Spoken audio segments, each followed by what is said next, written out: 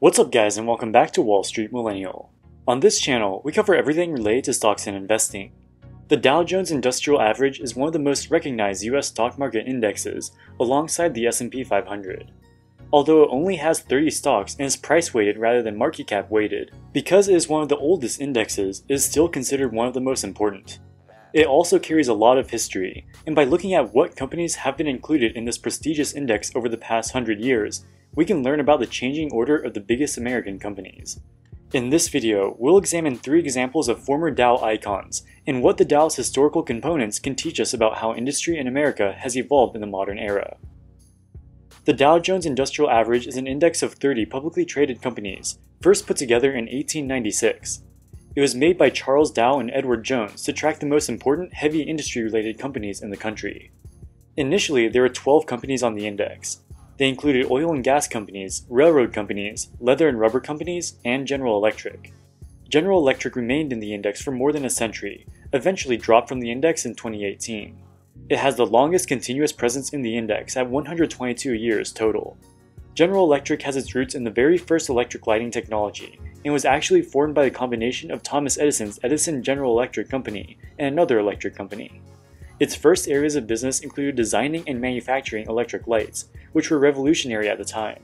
Throughout the 20th century, General Electric continued to lead technology and innovation in the US, helping to develop technologies like radio and television.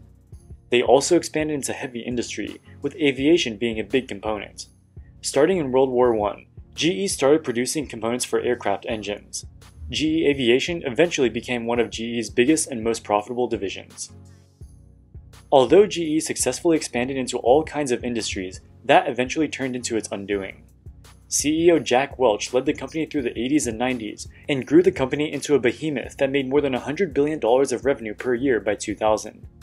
But nearly half of that revenue was from GE's foray into the financial services industry, which was demolished by the 2008 financial crisis. Furthermore, GE's obsession of acquiring smaller companies eventually made their businesses too diverse and unrelated. One company made aircraft engines, wind turbines, and healthcare devices, while also issuing credit cards and writing mortgages. This growth mentality of expanding into unrelated businesses backfired when the company became spread too thin and profitability suffered. You can see that GE's revenues steadily declined through the 2010s as they desperately divested their underperforming portfolio companies. Despite the divestitures, their profitability has still not yet recovered, in part due to ongoing efficiency problems in their remaining businesses. Another drag on GE's earnings is their massive pension liabilities left over from the days when they were a bloated conglomerate with hundreds of thousands of employees. Although their current CEO, Larry Culp, has been lauded by analysts for streamlining the company somewhat, GE's stock price has still nowhere near recovered to its former glory. The next company on our list of biggest historical Dow components is Bethlehem Steel. Bethlehem Steel was started in the mid 19th century and was a major part of the Industrial Revolution in the US. It was involved in the production of some of the first ironclad battleships in the US Navy. It continued to serve shipbuilding and metal production operations of the Navy throughout World War I and World War II. Bethlehem also made some of the first galvanized steel, an important innovation that protected steel from rusting. After World War II, with foreign steel industries destroyed, the American economy and steel industry in particular flourished. At this time, Bethlehem Steel was one of the biggest and most profitable companies in America, for two decades, the company enjoyed this privileged position. However, Bethlehem Steel eventually became too complacent with their own success. Making billions of dollars in profits every single year makes it hard to resist getting lazy with innovation. They resisted adopting new technologies for steel production, while both domestic and foreign competitors who were hungry to eat Bethlehem Steel's cake embraced them. By the end of the 1970s, other companies were able to produce steel for significantly cheaper than Bethlehem Steel was. Also, more advanced techniques for construction and other heavy industry dampened steel demand growth. Overall, Bethlehem proved unwilling or unable to innovate. Throughout the 1980s and 1990s, they were forced to shut down certain businesses such as steel mills and divested other businesses such as their railcar business. Over the course of just two decades, they went from being one of the most admired American industrial companies to filing for bankruptcy in 2001. Bethlehem Steel was initially added to the Dow in 1928 a true industrial giant. For almost 70 years it remained, until being removed in 1997, four years before its bankruptcy. The rise and rapid fall of Bethlehem shows that when a company is on top of an industry for a century, it's easy to become complacent. management starts to think that the business will always do well, and normal employees start to adopt a mentality of milking the giant company. But when the broader economy advances beyond the scope of the business, or new innovators make the company's products obsolete, a powerful giant can fall in just a couple of decades. The third and final Dow giant on our list of companies dropped from the index is Raytheon Technologies. Although Raytheon was technically only on the Dow for four months, what is now Raytheon was really United Technologies before a merger in 2020. United Technologies was first added to the Dow in 1976 and has been a giant military contractor for the past century. It has a long history of producing aircraft engines, helicopters, military aircraft, and even fire and security systems. Through many mergers and acquisitions of other defense contractors over the years, United Technologies became a true industrial behemoth. This culminated in 2019 when they announced they would merge with Raytheon, which itself was a huge company in its own right. After more than 45 years, it looked all but certain that United Technologies, now as Raytheon, would make it to half a century in the Dow.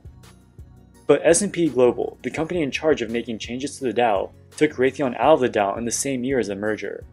Although Raytheon was severely impacted by the coronavirus pandemic, their defense business was able to give them a comfortable amount of margin to get through the pandemic. So why did they get dropped from the Dow right before their 50 year anniversary?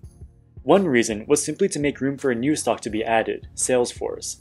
Salesforce is a software company in San Francisco that provides customer relationship management services.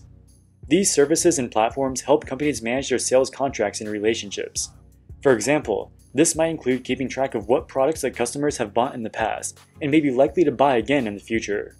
In turn, these services promise better sales and customer retention. All sorts of companies use Salesforce to help grow their own sales generation. But the reason that Salesforce is significant to the Dow is that it's the first true software company to be included in the index. It marks a breakage of the index with its own descriptor of industrial, since Salesforce is not actually an industrial company at all.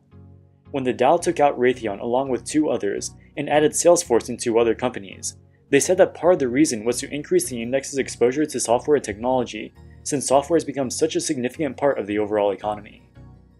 So what can we learn from these three companies that once dominated the Dow but ultimately fell? The first thing to notice is that no matter how advanced and admired a company may be, it will almost always have its own downfall. In the cases of Bethlehem Steel and GE, these were two companies that were at the absolute pinnacle of industry and technological innovation. But after about a century of dominance, they both fell from their highs. GE is still operating today and in the middle of a turnaround, but Bethlehem Steel went bankrupt and its operations were shut down. Even today's economic powerhouses like Amazon and Google will almost surely suffer a similar fate at some point in the future. Second, companies die when they become complacent and fail to innovate. Bethlehem Steel allowed the industry to overtake it, both in terms of foreign companies breaking into the American markets and domestic competitors being more adept at incorporating new technologies and processes. Other Dow giants like Sears and Kodak suffered a similar fate. Oftentimes, employees at these companies get used to be working for a mega cap company and adopt a mentality of milking the system until retirement. When you're on top, it's easy to get lazy. A third thing we can learn is that the biggest companies today are all technology or software focused. There's nothing an oil company, for example, can do to avoid being overtaken by the new kid on the block. Raytheon may be a strong company with innovation and ambition, but the reality is that the biggest growth areas today are occupied by companies like Salesforce. Alright guys, that wraps it up for this video. What do you think about the Dow Jones Industrial Average and what it can teach investors today? Let us know in the comments section below.